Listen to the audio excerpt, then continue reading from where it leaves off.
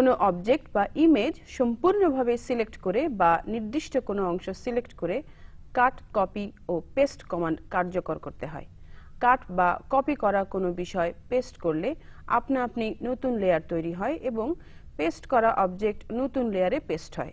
তবে পেস্ট করার আগেই যদি স্বচ্ছ লেয়ার তৈরি করে নেওয়া হয়, তাহলে কাট বা কপি করা কোনো বিষয় ওই লেয়ারই পেস্ট হয়।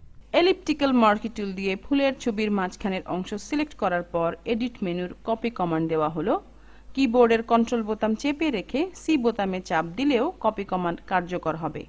এবার এডিট মেনুর পেস্ট কমান্ড দেওয়া হলো। ফুলের কপি করা অংশ নতুন লেয়ারে পেস্ট হয়ে গেল। মুভ টুল দিয়ে পেস্ট করা অংশ ভিন্ন অবস্থানে সরিয়ে স্থাপন করে দেখা যেতে পারে। পেস্ট করার আগে যদি স্বচ্ছ লেয়ার তৈরি করে সিলেক্টেড রাখা হতো, তাহলে কপি করা অংশ ওই লেয়ারেই পেস্ট হতো। কপি করলে সিলেক্ট করা অংশ মূল জায়গায় অপরিবর্তিত থাকে। ফুলের এই অংশ সিলেক্ট করে এডিট মেনুর কাট কমান্ড দেওয়া হলো। কিবোর্ডের কন্ট্রোল বোতাম চেপে রেখে এক্স বোতামে চাপ দিলেও কাট কমান্ড কার্যকর হবে। এডিট মেনুর পেস্ট কমান্ড দেওয়া হলো। ফুলের কাট করা অংশ নতুন লেয়ারে পেস্ট হয়ে গেল। এক্ষেত্রেও পেস্ট করার আগেই যদি স্বচ্ছ লেয়ার তৈরি করে নেওয়া হতো, তাহলে কপি করা অংশ ওই লেয়ারেই পেস্ট হতো। কাট করলে সিলেক্ট করা অংশ মূল জায়গা থেকে উঠে আসে। ফলে ওই জায়গা ক্যানভাসের রঙে পূরণ হয়ে যায়। এই ক্ষেত্রে ব্যাকগ্রাউন্ডের রং সাদা থাকায় কাট করা শূন্য জায়গা সাদা রঙে পূরণ হয়ে যায়। পেস্ট করা অংশ নতুন লেয়ারে স্থাপিত হয় এবং লেয়ারটি সিলেক্টেড থাকে। এই অবস্থায় মুভ টুলের সাহায্যে ড্র্যাগ করে পেস্ট করা অংশ অন্যত্র সরিয়ে স্থাপন করা যায়।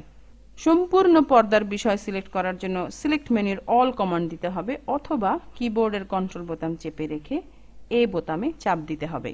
কপি বা কাট করার পর অন্য কোনো জায়গা বা অন্য কোনো অবজেক্টের কোনো অংশ সিলেক্ট করে এডিট মেনুর পেস্ট ইনটু কমান্ড দিলে সিলেকশনের মধ্যে কপি বা কাট করা অবজেক্ট বা ইমেজ বসে যায়।